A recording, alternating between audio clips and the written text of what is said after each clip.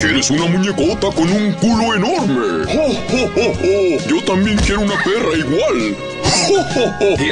¿Qué hubo, Santa pendejo? ¿Qué hubo? ¿Qué chingados estás haciendo? Trabajando un chingo de tiempo con estos pinches mocosos y no me trae ni una cheve.